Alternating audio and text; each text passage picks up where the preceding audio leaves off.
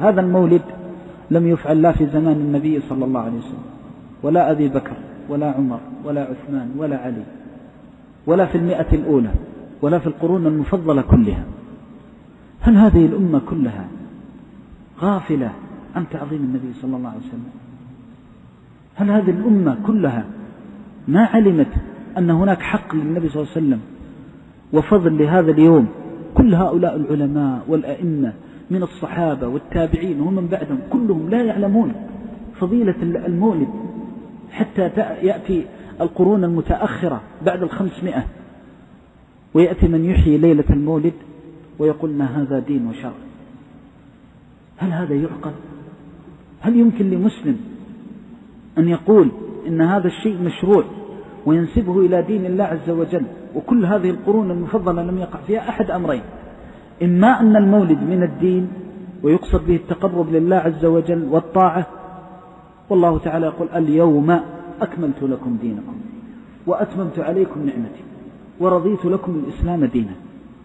وإما أن يكون ليس من الدين فإن كان من الدين فهذا نص كتاب الله عز وجل على أنه ما كان يوم عرفة إلا وقد تمم الله شرائع الإسلام وشرائع الدين. وإن كان ليس من الدين فلماذا يدافع عنه ويقوم من من يشرع للناس ويجعله ويوالي فيه ويعادي بل لا يجد احدا يتكلم فيه إلا ظن به السوء وأنه لا يحب النبي صلى الله عليه وسلم وأنه ينتقص النبي صلى الله عليه وسلم لماذا هذا؟ يعني هل هؤلاء المتأخرون الذين جاءوا وقالوا حتى قال إنه بعضهم يقول إنه بدعة حسنة على أن البدعة فيها حسن وفيها سيء مع أن الله عز وجل ذم على لسان رسول الله صلى الله عليه وسلم كل الحدث في الدين. وهو إذا سلم أنه بدعة فإنه لا, لا حسن فيه.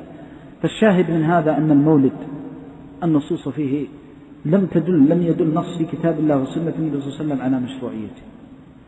وأنه ينبغي للمسلم أن يتبع الوارد وأن يحيي سنة النبي صلى الله عليه وسلم بصيام الاثنين. كيف يليق بالإنسان أن يحرص على شهود المولد وعلى جلوسه وعلى دعوته وقل أن يصوم اثنين في الأسبوع تأسيا بالنبي صلى الله عليه وسلم. أي الفريقين أحق بالسنة؟ فنحن نقول أن هذه الأمور ينبغي تركها وعدم الحماس الدفاع عنها على أنها ثابتة في دين الله وشرع الله وأن من يثبتها يحب النبي صلى الله عليه وسلم وأن من لا يثبتها لا يحب النبي صلى الله عليه وسلم. علينا أن نتقي الله عز وجل وأن نبين للناس دين الله وشرع الله بكل أمانة. بعيدا عن العواطف وبعيدا عن ما اعتاده الإنسان. وعلينا أن نعمل بما في كتاب الله وسنة النبي صلى الله عليه وسلم. وإذا قال الإنسان إن المولد بدعة فليس معناه أنه لا يحب النبي صلى الله عليه وسلم. وليس معناه حاشا أنه يكره النبي صلى الله عليه وسلم. والله لو كان المولد هو الدليل على حب النبي صلى الله عليه وسلم ولا نزكي أنفسنا. على الله لقاتلنا حتى نفعل هذا المولد. كما يقاتل المسلم ويجتهد في أداء العبادات المشروعة. في كتاب الله وسنة النبي صلى الله عليه وسلم. فعندنا مسائل. المسألة الأولى كلام العلماء والأئمة من المتقدمين والمتأخرين في أن المولد بدعة وحدث لا غبار عليه.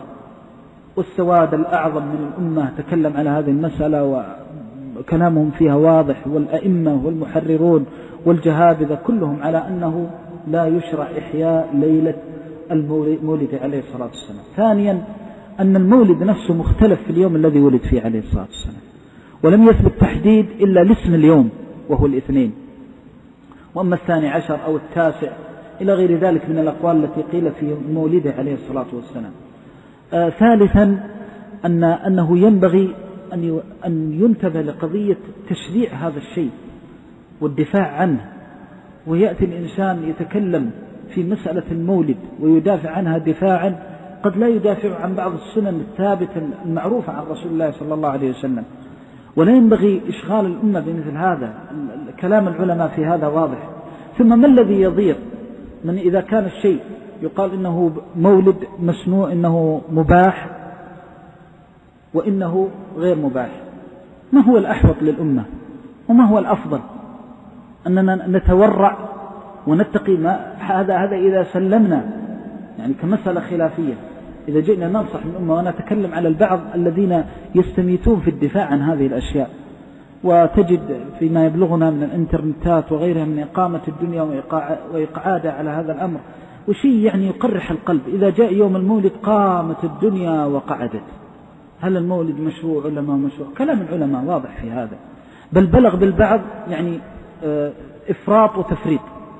لو أنك جئت وخطبت الجمعة في يوم المولد أو قريب المولد ولم تخطب على المولد فعليك ألف علامة استفهام. وإذا آه، العكس إذا جئت وخطبت عن المولد فأنت لا تحب النبي صلى الله عليه وسلم وإذا زاهدت في المولد حتى أن بعضهم قام من الخطبة نسأل الله السلامة والعافية. ما هذا؟ ما هذا الذي يجري؟ ولذلك نسأل الله السلامة والعافية. يعني وقع الناس في أمور عظيمة لا ترضي الله عز وجل. علينا أن نتقي الله عز وجل. علينا أن نعيد النظر باتباع السنة والوارد. وما الذي يضيرني إذا كنت أرى المولد وأرى غيري من العلماء يشدد فيه وأرى له وجها وله دليل لماذا لا, لا أحتاط للأمة؟ لماذا أقيم الدنيا وأقعدها إلا أن المولد مثل الفريضة؟ ليس هناك أحد من العلماء قال أن المولد فريضة حتى يستميت البعض في إحيائه وإثباته وكأن الأمر للإغاظة حتى إن البعض يفعل المولد ويحرص عليه ليس من باب أنه يفعله قربة لا يفعله إغاظة لمن لا يقول به. هو لو كان مشروع وقصد به الأمور هذه إغاظة الغير نسأل الله السلامة والعافية قد يكون إثم أكثر من, من ثوابه. فأصبحت أمور الدين تكلف وتحمل ما لا تتحمل. علينا أن نتقي الله في هذه الأمة وعلينا أن نتقي الله عز وجل في توجيهها وعلينا أن نتقي الله عز وجل في جمع شملها وشتاتها على كتاب ربها. وقد قال صلى الله عليه وسلم سلط الله عليكم ذلا لا ينزعه عنكم حتى تراجعوا دينكم. فعلينا أن نرد الأمة إلى كتاب الله وسنة النبي صلى الله عليه وسلم. ومن دعا إلى الكتاب والسنة فقد صدق وبر في قوله. وليس معنى ذلك أن كل من دعا إلى الكتاب والسنة صادق في دعوته بل نقبل هذه الدعوة من العلماء الربانيين والأئمة المهديين. الذين عرفوا بعلم الكتاب والسنة ويعلمون ما هو الكتاب والسنة ودلالة الكتاب والسنة. فالشاهد أن هذا الفعل ليس له دليل لا في الكتاب ولا في السنة والهدي عن النبي صلى الله عليه وسلم عن الخلفاء الراشدين بعد كلهم على تركه. يقولون يقولون المولد مشروع لأن الله يقول فبذلك فليفرحوا هو خير مما يجمعون. يا سبحان الله. الله تعالى قال فبذلك فليفرحوا. نسألكم. هذا أمر من الله فبذلك فليفرحوا. طيب لما أمرهم بالفرح ما فعلوا المولد؟ أحد أمرين. إما أنهم خالفوا كتاب الله وحاشا وإما أنه ليس من الفرح فعل المولد. أحد أمرين. أنتم تقولون أنه مشروع بقوله تعالى فبذلك فليفرحوا هو خير مما يجمعون. هذا نص نقول نؤمن به ولا نكفر ونصدقه ولا نكفر ولا نكذبه إذا أمر الله عز وجل في حياة النبي صلى الله عليه وسلم أن يفرح بنعمته. فنطبق ما فرح به النبي صلى الله عليه وسلم. وجدنا فرحه عليه الصلاة والسلام بنعمة ربه بمولده بالصيام. ووجدنا من يقول بالمولد أن فرحه بالطعام. فيجلسون يسهرون يأكلون يحدثون المناسبات والاجتماع هذا في بعض الصور لكن نحن نقول انظر كيف يستدل بالشيء وهو دليل عليه. ويتكلف في النصوص وهي حجة عليه. علينا أن, أن نضع النصوص في نصابها. وإذا قلنا هذه الآية تدل على مشروعية المولد وتمضي القرون المفضلة والعلماء والأئمة كلهم لا يفطنون لهذه الدلالة فما معنى هذا؟ ما معنى هذا أن تخلو القرون المفضلة كلها من هذه الأدلة التي تسرد ويتكلف في دلالتها على مشروعية المولد؟ ثم بعد ذلك أحد أمرين إما أن هؤلاء العلماء حاشاهم لا يحسنون الاستدلال وتركوا دلالة على هذا الأمر العظيم في توقير النبي صلى الله عليه وسلم وحبه كما يقولون وإما أن الأمر بخلاف هذا وأن نلبس على أنفسنا. علينا نعيد النظر. وعلى كل حال آه، أيضا أنبه على أننا إذا وجدنا أحدا يفعل مولد أن نترفق معه وأن نتبع السنة في تحبيبه للخير وألا نشنع عليه ونقرع ونحاول أن نسأل الله السلامة والعافية حتى تفهم من كلام بعضهم أنه قد ضل ضلالا مبينا كأنه يخرج من الملة. هذا الإفراط والتفريط اتقيه عبد الله عز وجل. والتمس ما يرضي الله. ودل على الهدي والسنن ولو كنت صاحب سنة فابذل كل ما تستطيع. على تحبيب الناس في قولك؟ وعلى تحبيب الناس فيما تعتقده من الحق والبعد عن الألفاظ البذيئة والأذية والسخرية فعلينا أن نتقي الله عز وجل وكفى بالأمة ما بها من جراح وآلام, وآلام وفراق. وعلينا أن ننصح لأمة محمد صلى الله عليه وسلم وأن يكون عندنا من الاتباع لهدي في اللين والرفق.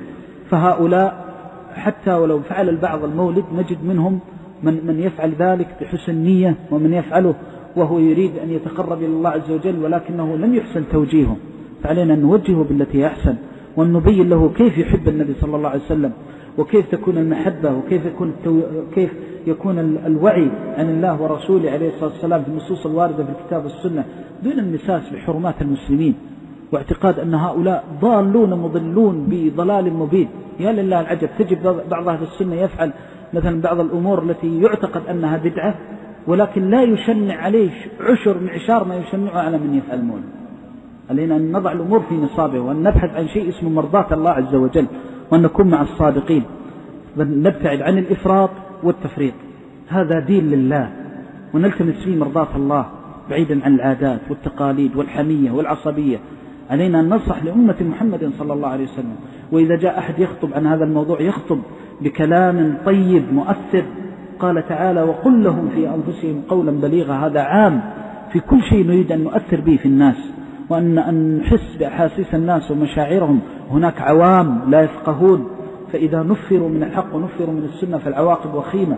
علينا أن نبذل كل ما نستطيع في تحبيب الناس في طريق السلف الصالح والسنة وإحياء هذا الدين والشرع.